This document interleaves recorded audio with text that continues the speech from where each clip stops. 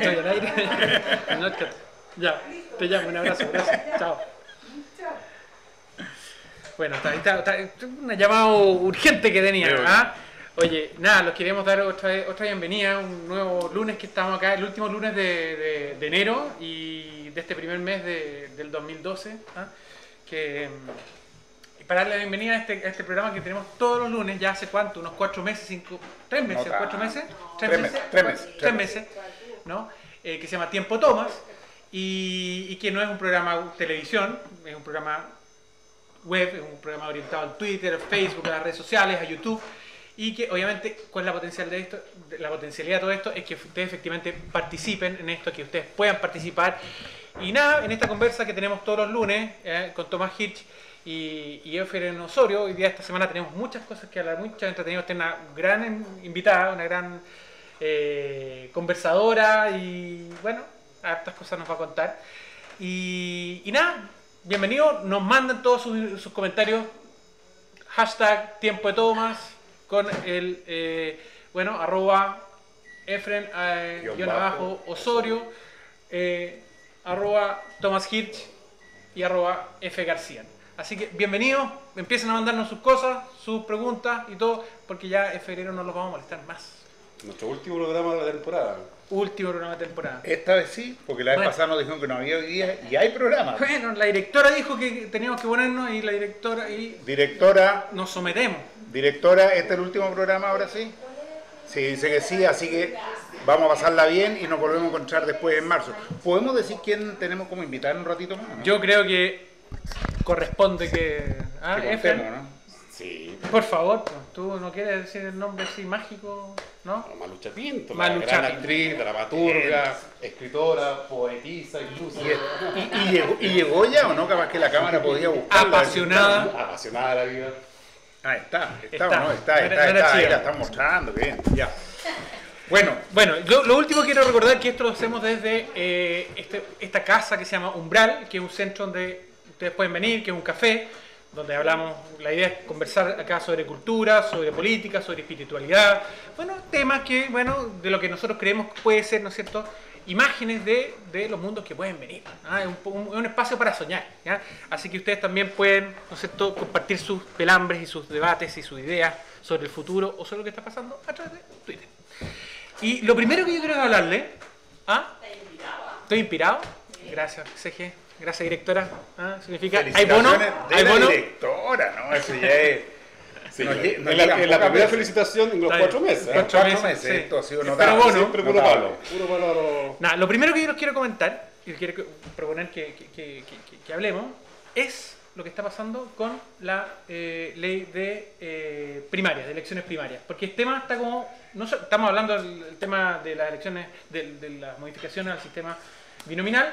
Poco se ha dicho de la ley de elecciones primarias. Y yo sé, Efren, que hoy día fuiste al Congreso a hablar con eh, nuestros honorables eh, diputados, o fueron senadores, senadores. senadores. Entonces, bueno, que nos conté un poco cómo te fue, que, cuál fue la reacción de los senadores, qué es lo que dijiste y un poco... Mira, en realidad son estos formalismos que tienen los senadores, que para cumplir invitan a los presidentes de partidos, incluyendo los partidos extraparlamentarios, como el nuestro. Eh, y el tema en este, en este caso era la ley sobre elecciones primarias. Eh, ¿Qué planteamos ahí? Bueno, planteamos que no estábamos de acuerdo con el carácter que se le está dando tanto a nivel presidencial como mediático de que esta ley va a ser la gran solución a los, a los problemas de representatividad. Dijimos que en definitiva mientras no, no se cambie eh, varias eh, situaciones que tenemos pendientes, esto es un simple ayorno a un modelo que está haciendo agua. Falta, por ejemplo, y lo planteamos eh, fuertemente, la la- no la reforma, sino el reemplazo del binominal por un sistema proporcional. Segundo, la- el límite a la reelección de los parlamentarios. Tercero, la ley de responsabilidad política con revocatoria de los mandatos, de modo que aquel diputado, senador o alcalde que no cumpla pueda ser revocado su mandato a través de la ciudadanía. Cuarto, todo el tema de la descentralización, mayores recursos a las regiones y elección democrática de las autoridades como intendente y los CORE. Eh, educación y salud gratuita a nivel, eh, garantizado a nivel constitucional. Entonces, si no hay una reforma profunda, a través, en el fondo, y lo que estamos planteando es una nueva constitución, dejar atrás la constitución pinochetista y plantear una nueva constitución, no, no definida por las cúpulas partidarias, sino que a través de un proceso democrático y participativo, a través de una asamblea constituyente. ¿Por qué tenerle miedo a la gente? ¿Por qué tenerle miedo a la participación? Entonces, en este mundo en que ya los, los verticalismos quedaron obsoletos, y lo dije así, ¿ah? Eh, este mundo que los cuarentones conocimos, y me incluí porque soy un cuarentón, donde está el verticalismo, donde está una homogenización forzada, ya no va, desapareció. Ese mundo donde las autoridades eran semidioses que, que bajaban del Olimpo a hablarle a la ciudadanía, tampoco existe. Oye, pero dime pero la ley no es tan mal. O sea, ¿qué es lo que está proponiendo la ley? Porque yo también la leí y... La ley propone en el fondo voluntarias, perdón, eh, primarias voluntarias y vinculantes. Eh, es decir, que el partido que decida hacer primarias, si las hace y va a las primarias, sus resultados son vinculantes, obligatorios para... ¿Pueden los partidos no ir a esa elección? Sí, sí, es un resorte. Y me parece bien eso, me parece bien que sea una ley que tenga esa flexibilidad, de modo que los partidos definan si hacen o no hacen primaria y la ciudadanía premio o castigue dependiendo de lo que piense la ciudadanía. O sea, era un marco nomás. No, lo que pasa es que suena muy bien que hayan primaria. A mí me gusta en principio que sea la ciudadanía la que defina quiénes son los candidatos. Pero en el marco en que se dan hoy día, pierden todo sentido. Porque son primarias dentro de un sistema binominal. Es decir, son primarias en que en definitiva son los partidos los que nominan a sus posibles candidatos y los que en definitiva también después nominan. Y cuando digo los partidos me refiero a la cúpula de los partidos, que muchas veces es un grupo de cuatro o cinco personas. Bueno, eso lo planteamos porque la, ley no indica el mecanismo de inscripción como candidato a la- a la primaria. Entonces nosotros planteamos que tiene que haber un mecanismo que permita que aquel militante que quiera participar en las primarias con un mínimo de patrocinadores pueda eh, eh, juntar esas firmas y presentarse a las primarias y no estar dependiendo de las dirigencias partidarias.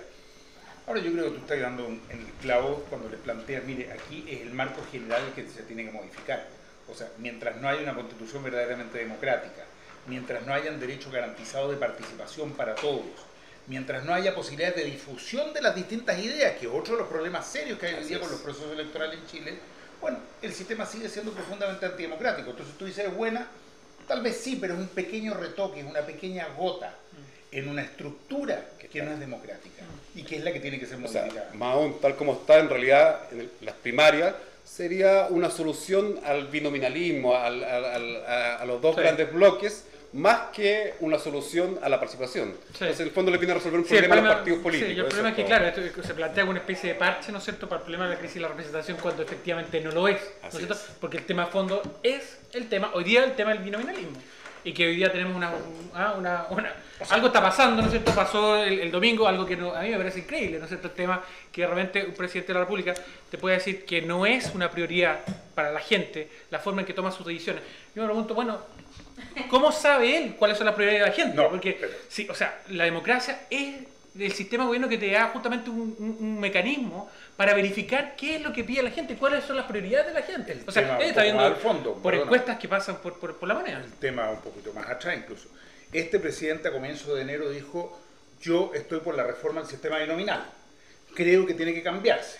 Después dijo, hago un llamado a los partidos a que se dialoguen.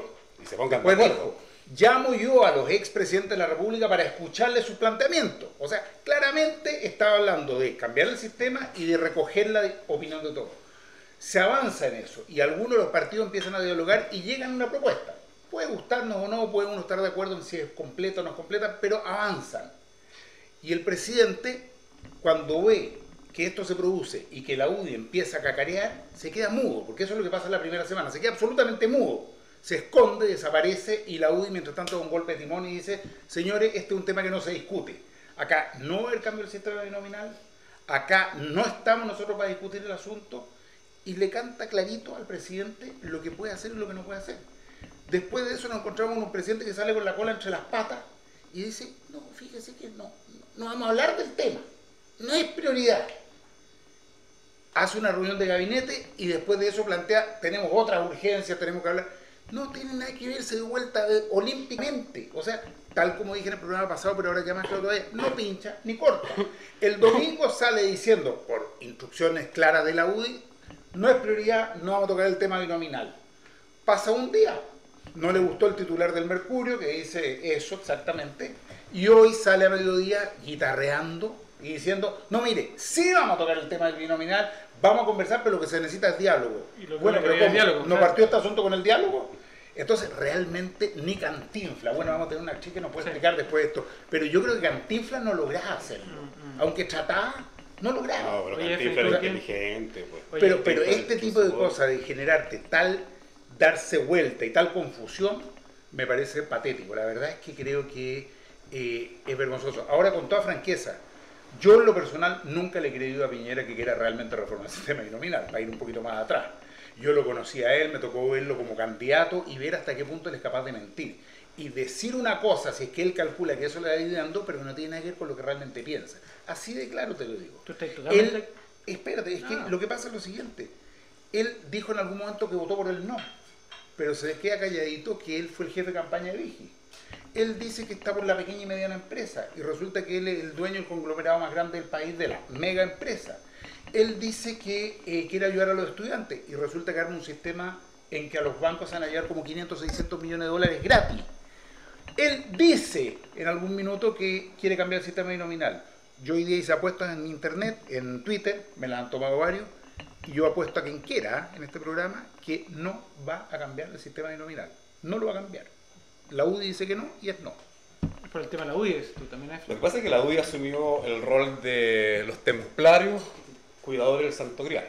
Entonces, en el fondo, ellos siempre han tenido el rol de cuidar el Santo Grial, que en este caso es la constitución de Pinochet. Es, en el fondo, la camisa que mantiene un régimen autoritario, un régimen eh, presidencialista, donde parece que estamos en democracia, pero en realidad es una mera formalidad. Entonces, cuando sale eh, la raíz con Walker planteando lo que plantearon, eh, estos aguerridos templarios, que además tienen un poder tejido en la sombra, igual que los templarios. Acuérdense que Piñera, cuando fue candidato a senador, ¿se acuerdan? Lo bajaron abruptamente cuando iba a ser candidato a senador por la Quinta Costa. Y luego, cuando era presidente de la Renovación Nacional, ¿qué pasó? Joaquín Lavín, en pleno caso Spinac, lo obligó a renunciar. Entonces el poder de la UDI en las sombras es bastante fuerte y tiene secuestrado a Piñera. Esa es la única diferencia con los templarios. Los templarios, por último, es un cuento vaniño que todos escuchamos en algún minuto, mientras que a estos otros los tenemos metidos acá, en la casa, en la ciudad, en el país, tenemos que andar soportándolos permanentemente y realmente son los que en definitiva cortan y mandan en la moneda. Sí, para mí es un tema, sí, que, claro, usted lo, o sea, Efraín, por lo menos tú lo llamas un tema de, como de principio, es decir, mantener la eh, una defensa dura con el régimen de, de Pinochet. Pero sabéis que yo creo que también acá se pasa muy por alto que acá hay un tema de cálculo electoral, ¿no? ¿Te fijáis? O sea, que se justifica una defensa de ciertos No, ¿por principios, valores, por la, por la estabilidad del sistema, pero que a esta cuestión no le conviene. Pero Simplemente no conviene. es. Y hay muchos estudios en eso. Entonces, evidentemente, bueno, va y vaya a la defensa de un sistema con una cuestión que pareciera más doctrinaria, pero al final es totalmente instrumental y electoral. Lo increíble, para ver cómo sería la cosa, es que si hubiera en Chile un sistema proporcional, tú tendrías un parlamento en que realmente habría representación Mm. de la diversidad. Tendría representación de otros partidos, de organizaciones sociales. Probablemente habrían representantes mapuche en un país en que no hay ningún representante de las etnias en el parlamento. Y sin embargo son el 10, el 12, el 14% de la población nacional. Entonces sería mucho más rico como parlamento. Hoy día lo que hay es un secuestro de ese parlamento porque efectivamente le conviene a la UDI, punto. Y le conviene también, digámoslo claramente, a la concertación. Si han sacado ventaja durante todos estos años y se han repartido el poder sin permitir que otra gente con otras ideas, con otra mirada, con otras propuestas puedan llegar ahí. Sí, y, eh, bueno, y parte de este 60% de, los chilenos que hoy día no tienen una representación parlamentaria, bueno, tengan algún tipo de, no sé, de voz allá donde se hacen, realmente se, se, se distribuye el, el recurso de poder. Bueno, y este año estuvo súper complicado el tema, ¿no es cierto? O sea, esto se le viene más duro todavía a, a- a- a la UDI y a... y- Se le y viene gobierno, duro, se le viene duro pero pasan cosas lindas igual. Bueno, se organiza la gente, ¿no es Y cierto? El tema... no solo eso, tenemos teatro en verano. Sí, pues, bueno, es que eso es lo que te quería contar porque yo creo que acá, una de las cosas más importantes yo creo que este año, evidentemente lo hemos dicho otras veces, es el tema con gente se organizada. ¿No es cierto? Como que ha vuelto a salir de nuevo la, la voz de la gente, hay, organiza- hay toma conciencia de cierto grupo social, hay gente que critica esto porque de repente son grupos sociales que al final tampoco están muy articulados en, en- un sueño colectivo, sino que muchas veces están simplemente echando agua para su propio molino. Entonces, bueno, acá hay que ver el tema de esa construcción colectiva. Yo sé que nuestra invitada ha trabajado en este tema, ¿no es cierto?, con, con de teatro que tiene que ver con, ¿no con la organización de los movimientos sindicales, ¿no es cierto?, luego de Poblacionales. poblacionales. Ya, pues. ¿Ah? Entonces, no sé, pero antes yo creo darle el, el regalito al Efren que quería Sí, presentarte. man- yo ah, quedé man- maravillado con un texto que leí donde nuestra invitada se autodefine. Y quiero compartirlo. Dice, abrazando el peligro de estar viva, contenta voy viajando, en el empeño, invocando el coraje de ser quien soy. Cierta de que venimos a esta tierra juntos y me importa mucho lo que te pase a ti, porque me pasa a mí. Hago teatro con pasión insana y sana, y sin ella y con amor. Sí, espero, soy y hago con la certeza que ya llegan las mariposas soberanas a poblar la tierra. El viaje ya partió. Subámonos a la barca. Creo que ya viene el reino de la luz. Así se define nuestra invitada. Después de eso nos quedamos callados nosotros. Hola Malucha, ¿Cómo bienvenida a Umbral. Después de eso, ¿qué más vamos a decir nosotros? Qué lindas palabras, ¿no? Maravilloso. perfecto. Oye, ¿esa es una definición tuya así, mirándote a ti misma? ¿Cómo fue eso? No sé. Salió, emergió. Bueno, inauguraste ahí más, más de alguien, ¿no? Oye, Malucha, acaba de terminar el, el Teatro Mil. Quiero que nos contéis primero cómo te fue, cu- cuál fue esa experiencia, cuál es ese registro que tuviste. Sabemos que tenéis una pariente también ahí, ¿no es cierto? Alguien, no sé si sobrina, en, también... Ay, ¿verdad, mi no? pequeña, mi nieta. Cuéntanos, ah, nieta, Sí, mi nieta un poco cómo fue eso. maravillosa. Ella participó en una obra que se llama La cuerda floja, que es una obra eh, de Klein, eh, que la toma el grupo de la Lynn Kuppenheim, que se llama Teatro Milagros. Eh, ellas son cinco mujeres y un hombre que hacen eh, teatro marioneta. Pero es un teatro marioneta increíble, delicado, es para niños y adultos, trabajan de una manera exquisita y amorosa con las marionetas. Y esta es una historia entre un abuelo y una nieta, eh, que va como todos los años a visitar a su abuelo y su abuela, pero esta vez no estaba la abuela, se había muerto. Entonces, cómo el abuelo eh, le cuenta y cómo ella descubre que su abuela ya no está y dónde está finalmente. Bueno, y la voz de la Esme, que es la marioneta, la niñita, lo hizo Almendrita. Ah. Y lo hace de verdad, o sea, fuera de toda chochera. Nueve años tiene, ¿no? Increíble, tiene nueve años, va a cumplir diez ya. Y lo hace demasiado bien. O sea, yo quedé, bueno, entre chocha como abuela, pero también impactada de su capacidad de comprensión de un texto y de cómo lo hizo, realmente notable. Así que La chochera. La chochera o sea, la chochera estuvo por todos lados, entonces estuvo No, por de todos lados. y también por la pasionaria. Sí, pues la pasionaria estuvimos ahí con nuestra pasión. Es que volví, o sea, en, esta, en este viaje por los barrios, por las plazas, por las comunas, con esta pasionaria volví a afirmar mi certeza de que lo que yo quiero es hacer teatro ahí, en la calle, con la gente. Eh, este es un ejercicio democrático poderosísimo, porque la calle es peligrosa, o sea, peligrosa en el buen sentido.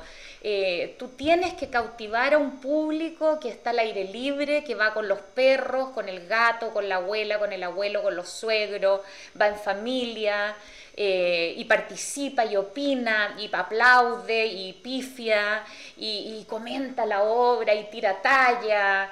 Y entonces es un momento en que se toman los espacios públicos, eh, se toman para el arte, para el encuentro de la gente, la gente se encuentra, se mira, se huele, se siente, eh, comenta, eh, conversa con los actores, los actores están ahí maquillándose o vistiéndose detrás del escenario, la gente los ve.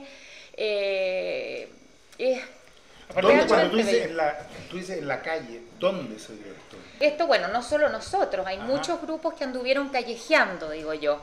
Pero esto, por ejemplo, en, en Melipilla tuvimos en una plaza, en la plaza de Melipilla. En Quinta Normal estuvimos también en una plaza. Estuvimos frente a la Plaza de la Constitución, que fue para llorar a grito. Muy importante para nosotros. Eh, estuvimos en Concepción, en la Plaza Bicentenario. Así, calle. Una, una consulta. tengo entendido que La Pasionaria, que es obra tuya como dramaturga, eh, surge de un trabajo de investigación. Sí. Que te fuiste tres o cuatro años atrás a vivir en las poblaciones o a conocer la Sí. realidad poblacional. ¿Cómo fue esa experiencia? El pasa es que nosotros formamos parte de un colectivo de artistas y de, de gente que trabaja en el mundo del desarrollo humano, finalmente, que fuimos como creando una metodología de participación con vecinos y vecinas en barrio, desde el lenguaje artístico, desde el rito y desde la psicología como transpersonal, uno podría decir. Y nuestro primer empeño era como colaborar con vecinas y vecinos a fortalecer organizaciones, a que los vecinos se revincularan, a que volvieran a encontrarse con su memoria finalmente. Eh, y surge una de las actividades eran estos talleres de la memoria que al comienzo no les dimos mucha bola en realidad, o sea, era como un taller de la memoria. Nuestra idea era como la educación cívica, andábamos como en otro, conciencia, en fin. Pero de repente estos talleres de la memoria fueron tomando tanto vuelo y fueron tan importantes para los vecinos y vecinas. O sea, hay un mundo que se empieza a- a descubrir a sí mismo desde lo que cuentan de ellos los medios de comunicación. Entonces empiezan a creer efectivamente nosotros somos delincuentes, narcotraficantes, en nuestras poblaciones lo único que ocurre es violencia y a olvidar una historia riquísima, una cultura además riquísima, porque hay una cultura poblacional, desde cómo hago mi casa, cómo me encuentro con la vecina, cómo hago familia, cómo hago el amor, cómo me caso o me descaso, o sea, ahí hay un- una historia alucinante y además hay una leyenda, hay una poética y de cómo nos organizamos, de cómo conseguimos casa, de cómo trajimos la educación, cómo trajimos la salud, cómo establecimos alianzas con otros sectores, cómo nos vinculamos con los universitarios, cómo nos vinculamos con los profesionales, cómo nos vinculamos con los artistas. Ahí hay una manera de hacer país también súper particular donde ellos hicieron un gran aporte además, donde ellos transformaron además la, la- la manera de hacer política. O sea, si uno piensa en los años 70, estaban los sindicatos, Claro. los partidos políticos que representaban clases sociales, y de repente llega este universo que no eran ni obreros, ¿quiénes eran? Pobladores. Pobladores, y pobladores. que gravitaron y movieron a los partidos de izquierda hacia tratar de darle cabida a esa voz que era distinta y que se estructuraba desde el barrio, no era desde el sindicato. ¿Y la investigación parte de cuándo más o menos? Entonces, bueno, ahí fuimos descubriendo de cómo se produce en Santiago fundamentalmente, pero también en todo Chile, esta gran crisis habitacional que hubo, fruto primero de la gran crisis del salitre, en que grandes contingentes vienen desde el norte y ocupan las ciudades buscando mejores alternativas de vida, después viene la gran crisis, la depresión, y se empiezan a llenar las ciudades y viene esta gran crisis habitacional y surge la organización, empieza como las primeras la organización poblacional en estos comités de arrendatarios, comités de vivienda, etcétera, y por supuesto también alimentadas desde los partidos tradicionales de izquierda, pero también no. También la democracia cristiana, en fin. Y empieza, bueno, viene la gran toma de terreno emblemática en Latinoamérica, que es la toma de la victoria, ¿cierto? Y de ahí empiezan todas estas tomas de terreno, no todos poblaciones fruto de tomas de terreno, sino que de distinto la operación sitio, pero que tenía una característica alucinante, que no era una política asistencialista. O sea, era fruto de la organización de la gente. No había de que yo tiro la mano y viene el subsidio y que yo quiero una casa y ya no quiero una casa con tabique, no, yo quiero una casa con bow window, o sea, ya es como, bueno, Entiendo. sino que te- la... tú te- ¿ah? quiero saber nomás, ¿tú te encontraste al hacer esta investigación con gente que había vivido todo Sí, ese proceso? absolutamente. Que había participado de? Absolutamente. Y en este conversar y encontrarse, porque ahí se armaron comunidades realmente, la gente dice, "Ah, chucha, todo esto hicimos y lo hicimos así. Y frente a estas crisis que tuvimos, tuvimos estas soluciones. Entonces, nosotros empezamos como también rápidamente a descubrir que habían como líneas de exploración distintas. Una era la histórica política, ¿cierto? Entonces íbamos, íbamos gobierno por gobierno, qué es lo que pasó, dónde estábamos, qué alternativas eh, propusimos, nos entregaron, cómo... Pero también fuimos en una línea a partir de la música, a partir de la imaginería, también a partir de abrir el corazón, de conectarnos con el espíritu, de poder descubrir como la línea intangible, la línea íntima, que era cómo nos amamos, cómo parimos los niños, cómo nos desciframos a nosotros mismos, cómo fue que hicimos nuestras arpilleras, cómo hicimos el taller de teatro. O sea, también hubo toda una línea, yo creo que ahí eh, hubo como un aporte, si tú querés, distinto, en que también se levantó la historia íntima, la historia secreta, la historia emocional. Y eso fue súper bonito. lucha y, o sea, es, es, esos como eh, pedacitos de cultura que se han ido construyendo generación tras generación, hoy día sigue vivo, digamos, o sea, se sigue replicando. Porque, ¿qué es lo que pasa? O sea, yo, eh, eh, como que la cultura dominante te está diciendo, ¿sabes qué? Somos todos iguales, todos tenemos que ir a comprar el mall, todos tenemos que tener el mismo tipo de casa. Y da la impresión que la cultura dominante te dice, mira, si a ti te va bien en la población, si tú vas al, a, a, tal escuela, vas a poder algún día comprarte otro tipo de casa. Tú, lo que pudiste registrar que efectivamente esa construcción eh, cultural o identidad es como, o sea, se siente bien, digamos, con ella misma. Eh, ¿cómo, ¿cómo, ve su futuro, digamos? ¿Hay una aspiracionalidad de salir de esa, de esa realidad o de, de autoconstruirse dentro del mismo valor en la propia cultura? ¿Me entendí? Sí, sí, perfectamente. Lo que pasa es que, claro, está todo complicado. O sea, hoy por hoy está enredado todo. O sea, la gente, ponte tú, todos, en todas las poblaciones a las que fuimos, a medida que íbamos conversando, decían, chuta, éramos mucho más pobres, pero éramos felices. Mm. La solidaridad, por ejemplo, era un tema. O sea, cómo podíamos sortear una serie de crisis y problemas fruto de la solidaridad, como esta cultura de lo colectivo. O sea que cuando alguien tenía un problema estaban todos, por lo tanto no nos sentíamos solos. Hoy, dicen ellos, tenemos cosas. O sea, tenemos la casa, tenemos el baldocín cerámico, tenemos toda la, la reja electrificada, eh, o sea, pero estamos solos. Cada uno encerrado en su pequeño mundo, o sea, esta cultura muy individualista, con mucho miedo, miedo de salir a la calle, miedo al otro, miedo a... Y eh, claro, en una cosa súper aspiracional ahora también pero con la noción de que hubo un tiempo en el cual eran más felices, por lo tanto ahí hay algo que rescatar. ahí, yo tengo, una pregunta. Y tú le llevas esta historia a las poblaciones hoy, que es otra gente, bueno, algunos serán de esa época, pero es otra gente, otro mundo, bueno, ha cambiado mucho todo, tal como ellos mismos dicen. ¿Qué, ¿Qué le pasa a la gente hoy que ve esa obra? ¿Qué le pasa respecto al contenido? ¿Qué le pasa al tocar ese tipo de, de, de, de, de vivencias, de sentimientos. Ah, también la gente que no vivió eso. La gente que no lo vivió, esos, esos miles que estaban ahí, que tú me contabas cuando veníamos, ahí en, la, en, la, en las plazas, en las calles, viendo la obra. ¿Qué, qué, qué, captaste tú que les pasaba a ellos? Con la historia esa. Fíjate que hubo, eh, que fue más de una vez, o sea, fueron varios comentarios y me da como pena cuando lo recuerdo. Nos hicieron el siguiente comentario, qué increíble que alguna vez nos sentimos personas. O sea, es como el registro de que oh, esto existió y alguna vez nos sentimos así, seres humanos, que, que, que salíamos, que nos que éramos, lo pasábamos bien también. Eh, de verdad, es verdad todo esto. Hicimos el taller de arpilleras, teníamos el taller de teatro, el taller de serigrafía. Había un lugar en la población donde nos juntábamos y donde eh, teníamos un escenario donde efectivamente todos los sábados había un grupo, es como también es como, es como que se hubiera olvidado que fuimos así, que este país fue así, de verdad que fue así.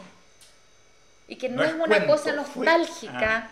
y melancólica de, oh, que no, es verdad.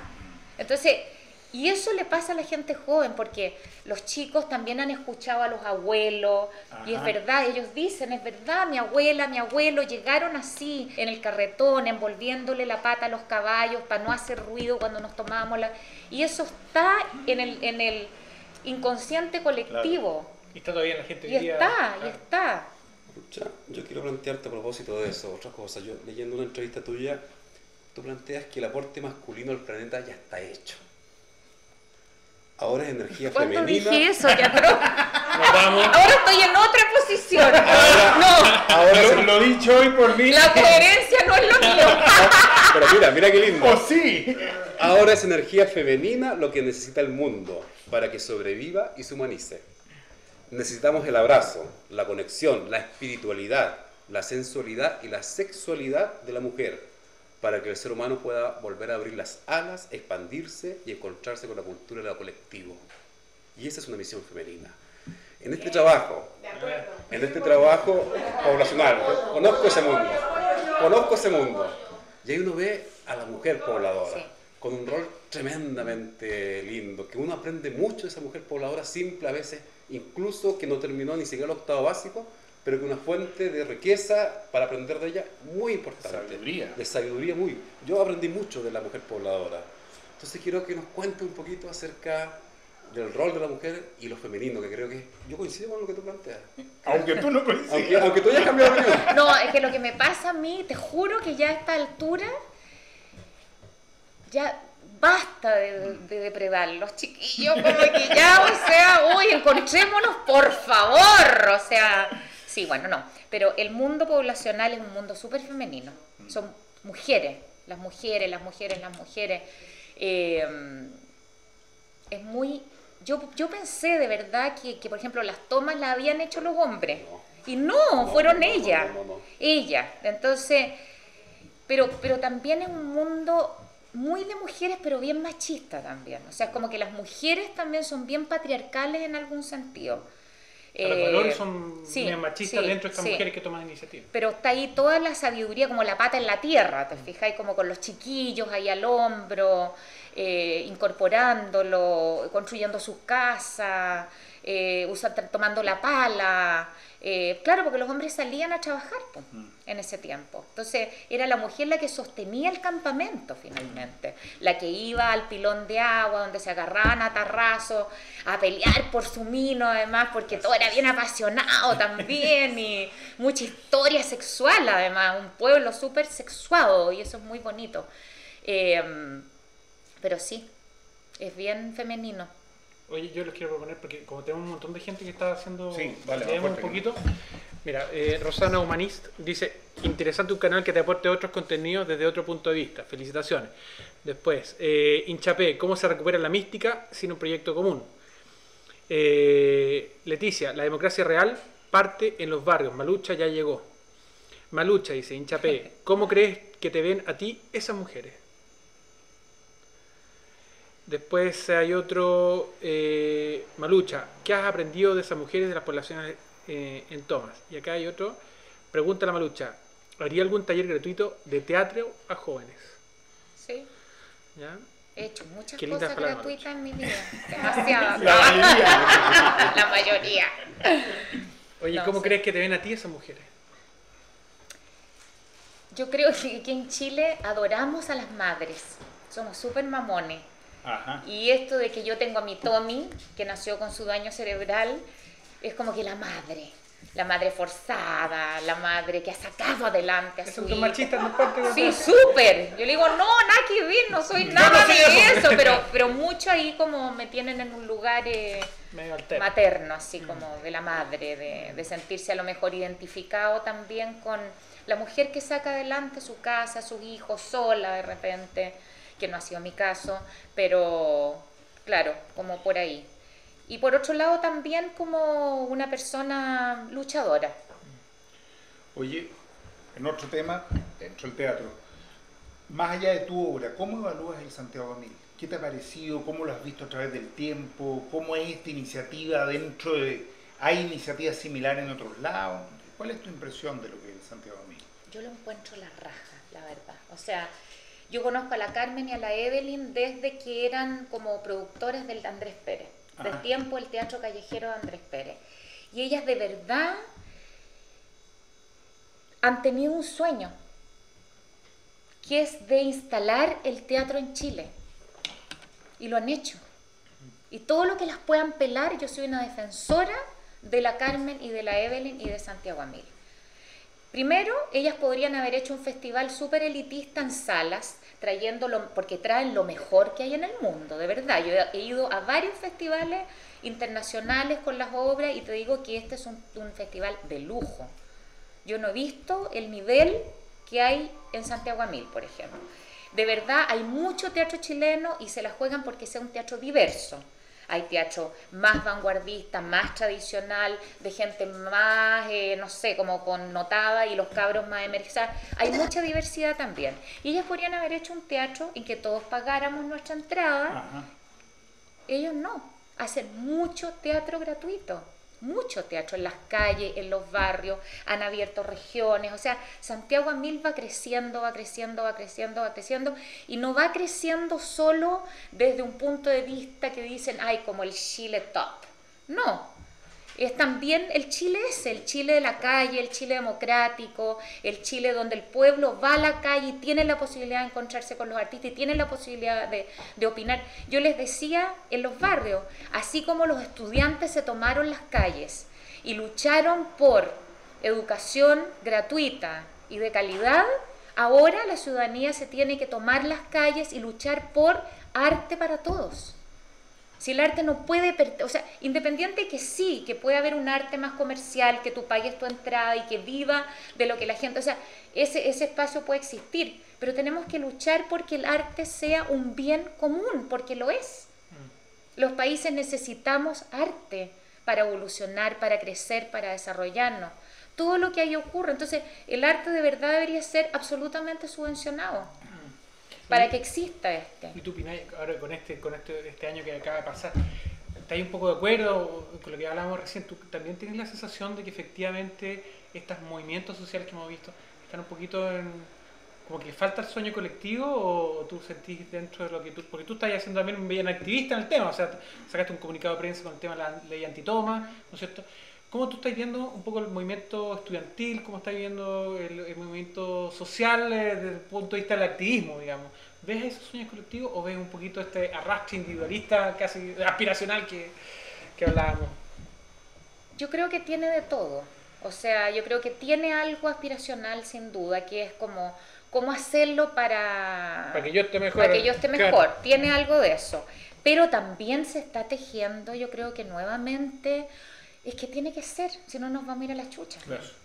O sea, es así de claro. Yo creo que eso se está tejiendo y hay una sabiduría omnipresente que nos, eh, nos abraza y nos contiene a todos y que es fruto nuestro también. A lo mejor la gente yo creo que tiene como una idea de lo que es satisfacer mis necesidades, que es la que te han enseñado que es.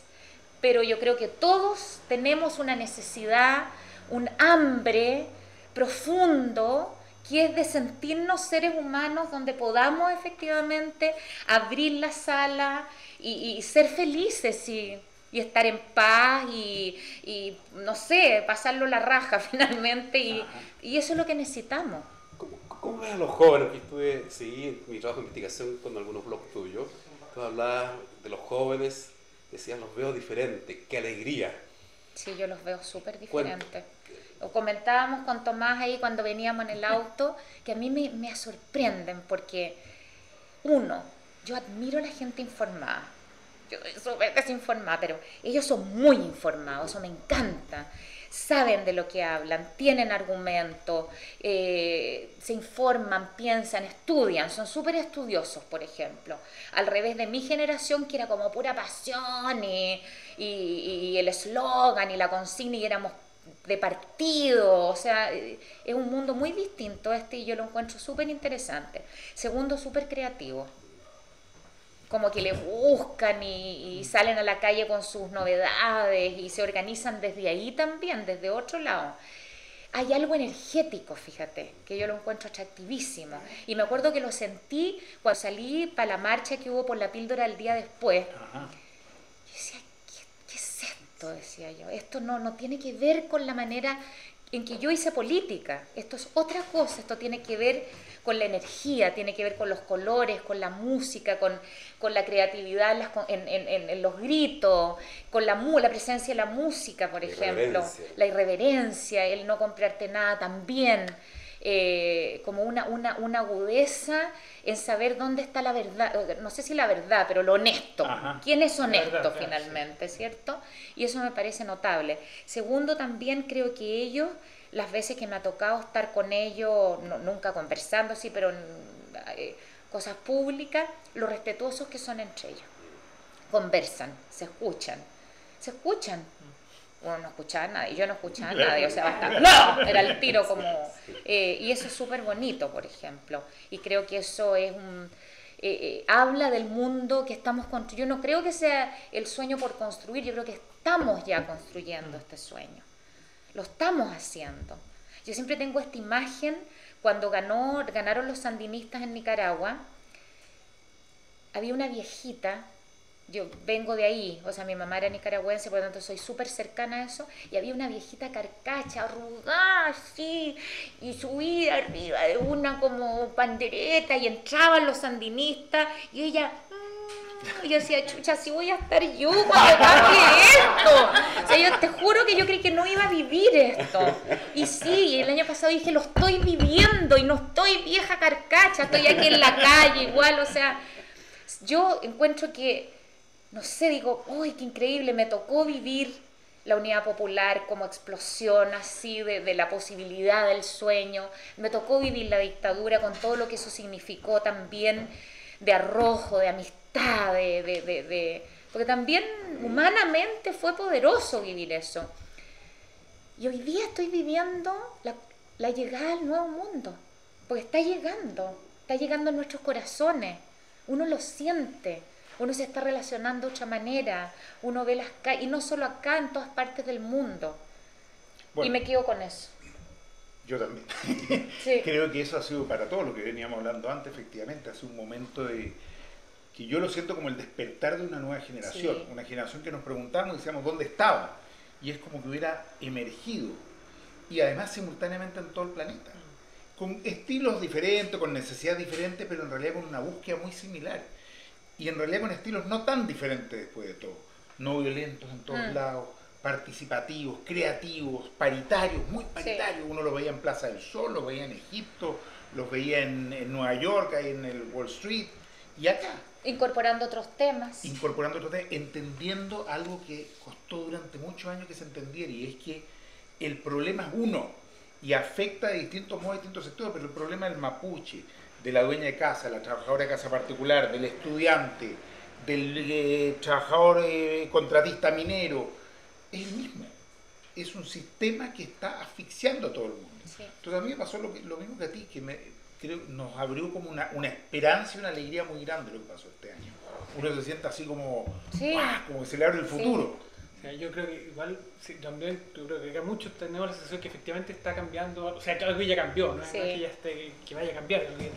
A mí lo que me da mucho temor es que efectivamente como aquellos que tienen el poder ah, o el sistema, digamos, va a reaccionar, porque no se, no se van a quedar con las manos brazos. O sea, Ya han el reaccionado. tema de la ley de antitomas es eso, ¿te fijas? es cómo, cómo los otros tipos dicen, tú sabes que no, no, no, no quiero perder eh, terreno, no quiero perder espacio acá y cómo yo utilizo todo lo que tengo de, recursos. Y en esa, en esa situación yo estoy más preocupado, digamos, cómo vamos a reaccionar, cómo nos enfrentamos, cómo nos ar- armamos, palabra fea, obscena, ¿ah? pero, pero cómo nos, nos- nos articulamos para a esa reacción, ¿te fijas? Yo creo que ahí también hay que hacer un jueguito en eso, no sé qué opináis tú, O Tomás. sea, han reaccionado. Reaccionaron en Egipto y se pasó de la primavera a lo que hoy día quieren llamar algunos el, el invierno, ¿no es cierto?, egipcio. Reaccionaron acá y ponen la ley antitoma. Pero yo creo que no pueden detener el movimiento. Eso es lo que yo personalmente siento. Yo creo que aquí hay una fuerza nueva que se puso en marcha y que puedes intentar taparla. Es como lo que están haciendo con las redes. Esta cosa absurda de tratar de bloquear Twitter, de impedir que circulen archivos. No pueden, no pueden. Hay un mundo nuevo. Creo que va a haber que sortear muchas dificultades. Creo que no basta también con la movilización que hubo el año pasado y decir ya está, listo, hay arreglamos que el generar imágenes. ¿eh? Hay que crear nuevas cosas, tienen que haber nuevas movilizaciones, tiene que estar la creatividad a la orden del día. Creo que las nuevas generaciones ojalá también avanzaran a ocupar los espacios eh, que permiten los sistemas electorales. Ojalá se llenara de candidatos a concejales, a alcaldes, a parlamentarios, diputados, senadores y a presidentes jóvenes. jóvenes. La misma ley pone dificultades, trata de bloquearlo. Pero creo que también es importante que además de estar en las movilizaciones, estén en todos los espacios posibles. En todos los espacios posibles. ¿Qué más creo? Que aquí hay una tarea para los que no se han movilizado. Porque así como los cabros se movieron y dijeron, mire, si recuperamos el cobre podemos resolver el tema de la educación, bueno, pero entonces falta que los trabajadores del cobre también se pongan. O así como dicen, mire, hay que cambiar la calidad de la educación, falta que los profesores también se pongan. O sea, creo que todavía podemos ganar mucho en articulación con otras Mm. organizaciones e instancias. Yo quiero hacer una pregunta que, que- estaba haciendo acá a la, a la Malucha, que yo creo que es bien buena. Que Leticia Jefe dice, pregunta, ¿cómo conecta Malucha esa experiencia identi- identitaria local con la imagen de una nación humana? ¿Qué es lo que yo lo que trato de entender de esta, de esta, de esta pregunta? O sea, eso que tú sientes o ah, eh, que tú percibes en esa, en, esa, en esa localidad, ¿cómo esto se conecta en una imagen más amplia, Global. colectiva, más, más filantrópica, más humanista en definitiva? ¿Se conecta, no se conecta? Yo creo ¿Hay un que, hilo? claro, uno tiende como a mirar el mundo desde sus ciudades enormes. Pero conversaba con un amigo de ustedes, que no me acuerdo ahora cómo se llama, por ejemplo, África un continente enorme.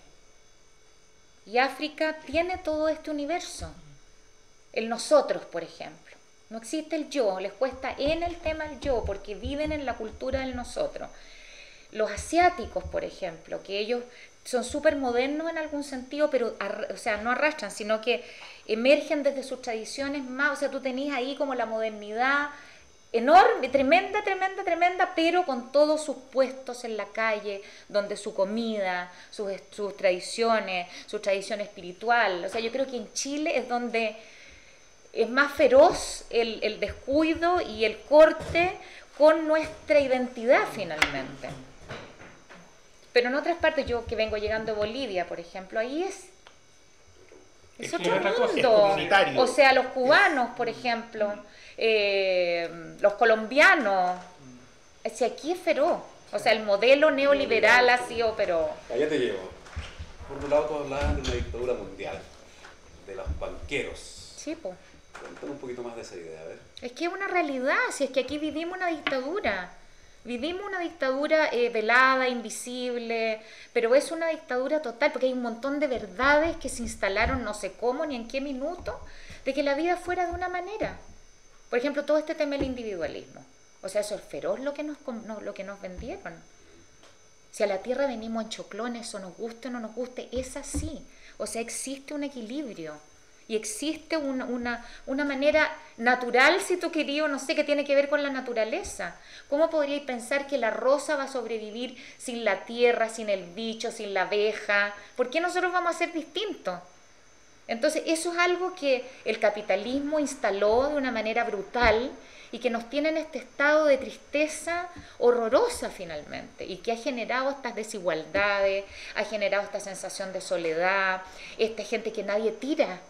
Si el otro día escuchaba en la radio un programa de sexualidad, todo el mundo queja, o que el marido no me tira, o la señora no quiere, o sea, nadie quiere hacer el amor todo el mundo empastillándose el antidepresivo para despertar, para acostarte, para dormirte, la cantidad de farmacias.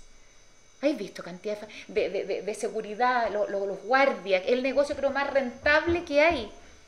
Y eso tiene que ver con estas verdades instaladas de que la vida se hace de una manera que no se hace finalmente. Una aclaración solamente, en este programa a todos les gusta hacer el hambre. Ay, qué bueno, qué bueno. Es precondición para hacer este programa. Vaya, muy bien.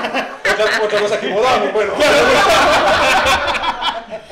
No, pero, pero ¿ves? ya se nos deprimió uno, uno de los panelistas.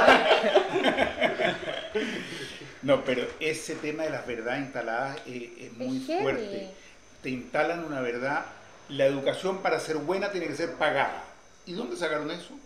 Pero está instalado en algún minuto, y a mí me daba mucha lata, incluso los cabros más de izquierda, más revolucionarios, lo máximo que decían era arancel diferenciado, porque uno le decía educación gratuita, no compañero, ¿cómo hace gratuita? Pues, es decir, ya se había instalado a tal punto que se habían puesto el casco todo.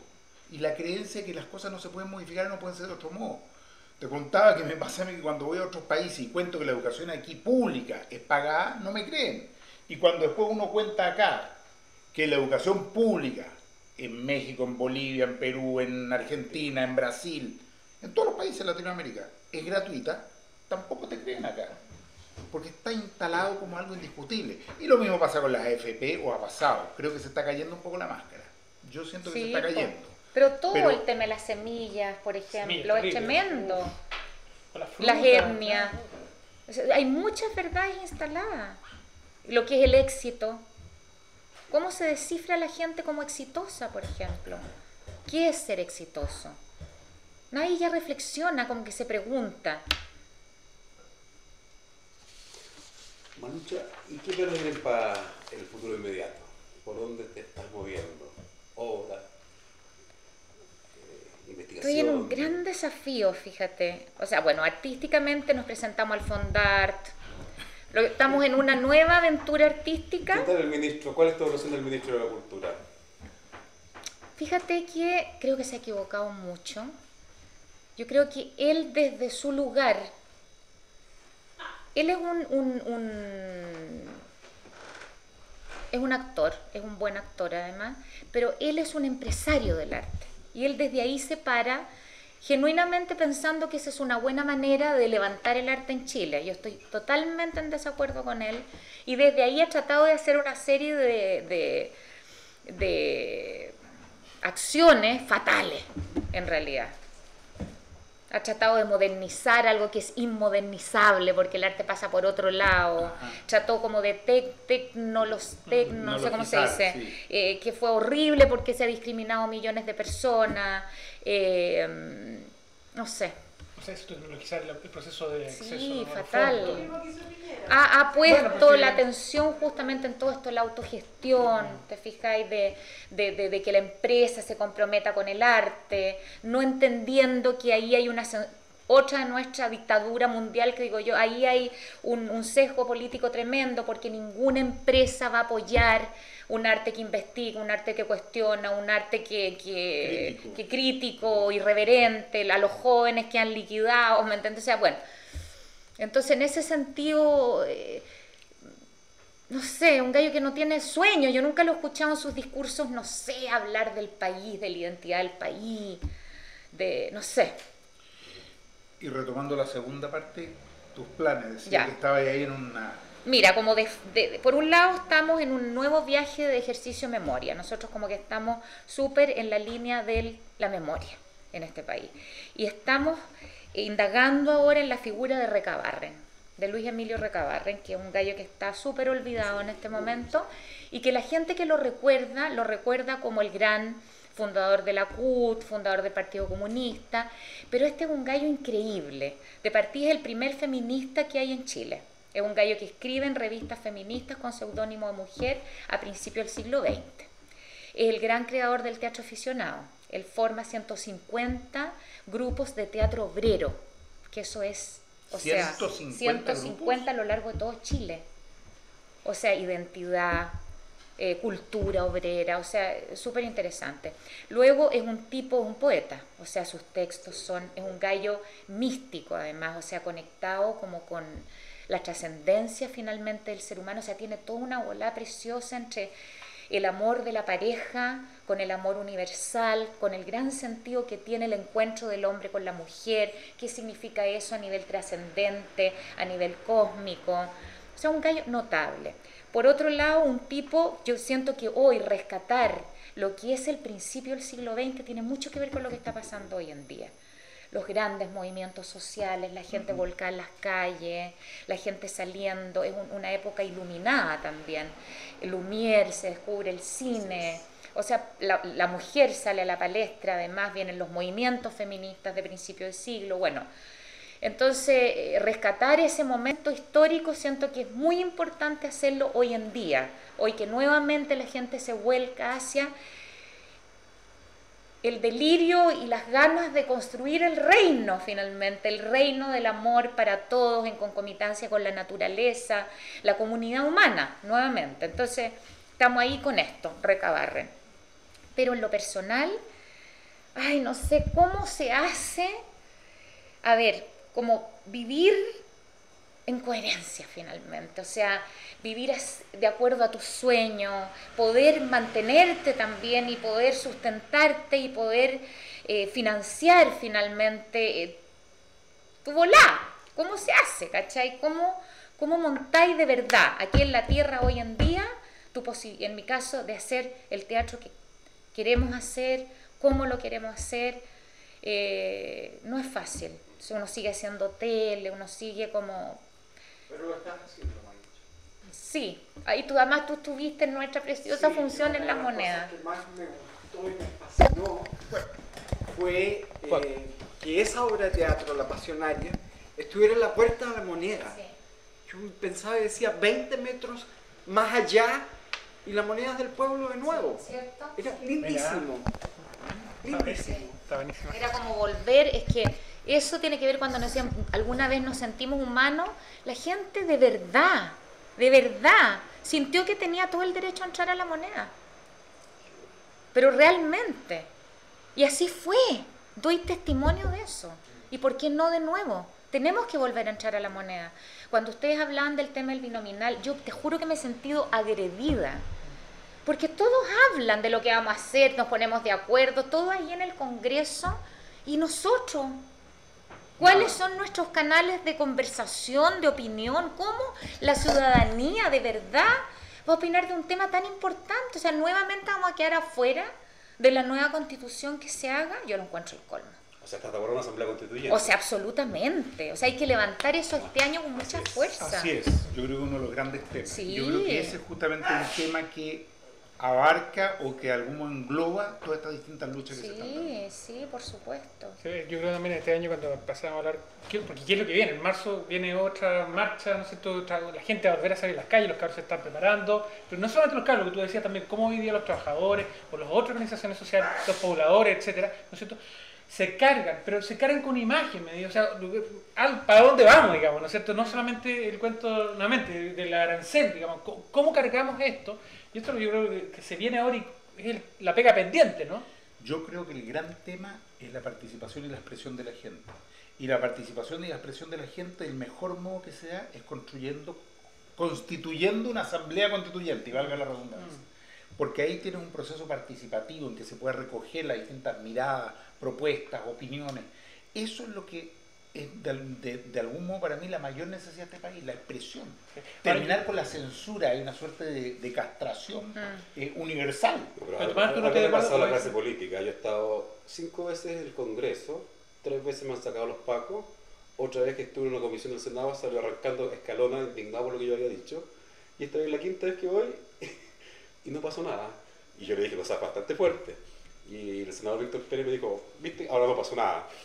Por fin no ha pasado nada. Ah, están aprendiendo, parece. Parece que la clase política, alguna cosita le está llegando. Pero la verdad es que yo veo que en el fondo lo que tú dices, o sea, ¿dónde está la participación de la gente? Todo se define entre una clase Sí. política elitista, alejada de los intereses de la gente, que ya no sabe lo que es andar en metro, andar en micro, etc. Eh, y desde ahí ven el mundo, y desde ahí legislan para todos. Por tanto, la, la, necesidad del despertar ciudadano que ya vimos el año pasado y que se consolida, a mi juicio es muy importante. Sí, y hay otra cuestión que tampoco tenemos, yo creo que no podemos olvidar, que una cosa es salir a la calle y organizarse, formar identidad, etcétera, pero también yo creo que hay que tomar ojo con los espacios que sí te da el sistema. Yo, o sea, a finales de año vienen, en octubre vienen unas Sí, elecciones eh, municipales, vienen elecciones concejales, o sea, son también son espacios que te da el sistema. O sea, desde la dominancia te dicen, ¿sabes qué? Ok, tenía un poquito para jugar acá. O sea, también hay que tener un poquito de conciencia en el sentido, o sea, eh, teníamos, imagínate, la cantidad de gente que no se inscribiera para votar, ¿te fijas? O sea, que son gente que se resta también de esa participación. Hoy día tenemos otra ley, bueno, ojalá que también se aproveche, sobre todo en un sistema electoral donde no hay binominalismo. No sé qué Ojalá. Ojalá. Lo que pasa es que el binominalismo está instalado mentalmente, entonces genera ciertos resultados. Si bien es cierto, la municipal es proporcional, ya está instalado en, la- en mucha gente los dos grandes bloques y el voto ganador es muy fuerte. Ahora esperamos con todo lo sucedido el año pasado que eso vaya siendo superado. Las encuestas de alguna manera están dando ciertos indicadores y por lo menos yo espero, espero que la gente busque alternativas distintas. De todas maneras, esa es una dimensión. A mí me encantaría un país en que además se multiplique mucho este otro tipo de situaciones. Expresiones de cultura, de teatro, de arte, de música, de que se muestre la diversidad. Para mí esa es la mejor definición de cultura. Es la expresión de la diversidad de un pueblo. No es lo que pasa dentro de un teatro municipal, es la expresión de la diversidad. Y este es un país muy diverso y nos han querido uniformar por Sí. mucho tiempo. Creo que esa es la gran tarea, mostrar la diversidad de este país. Ahora, igual yo creo, y, y tomo un texto de la pasionaria que dice, bueno, en otros tiempos nos dice, y demos un aplauso a los senadores y diputados que se han arremangado las mangas y se han venido a dormir a nuestras rucas para que los pacos no nos saquen. Eso es impensable hoy en Chile, pero impensable de nosotros también. No digamos que solo los senadores y los diputados. O sea, yo creo que todos los, los que queremos, soñamos y nos hemos reunido y hemos conversado, tenemos que remangarnos las mangas y ir a vivirnos las rucas. O sea, es hora también de que nosotros salgamos a la calle y nos arremanguemos los- y salgamos a pata pelada y, y aquí hay una tarea súper fuerte de, de- de- de- informar. ¿Quién va a informar? No van a informar la tele, no van a informar los medios de comunicación. Hay que salir a la calle uno también creativamente y ver cómo nos vamos a instalar en las plazas e informar a la gente y conversar con la gente. O sea, en el mejor sentido y más trascendente y místico hay que volver a militar. Militar en nuestros sueños comprometernos con nuestros sueños, porque uno un poco que dice, bueno, hay que hacer, hay que hacer, hay que hacer, pero ¿quiénes van a Claro, hacer? hay que. Claro. hay que, una maravilla. Tenemos que, Vamos a. claro. Oye, Marucha, te queríamos dar las gracias.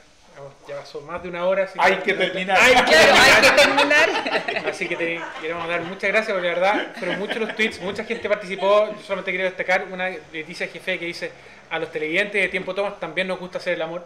No está mal. Bien, muy bien, muy bien, bravo.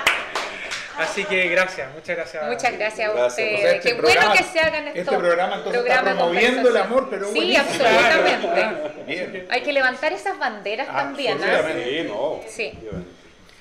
Gracias, Malucha. Tiempo toma, el apoya amor. el amor, El amor. sexo, Exacto. tirar con gusto. Tirar que el mundo se acaba. Y nos vemos en marzo.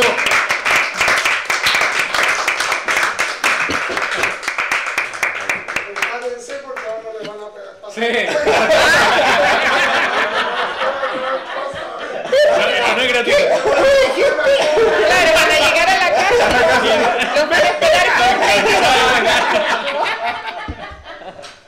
¿Qué fue lo que dijiste? Tú sabes que la tele miente. Está grande las cosas. Ah.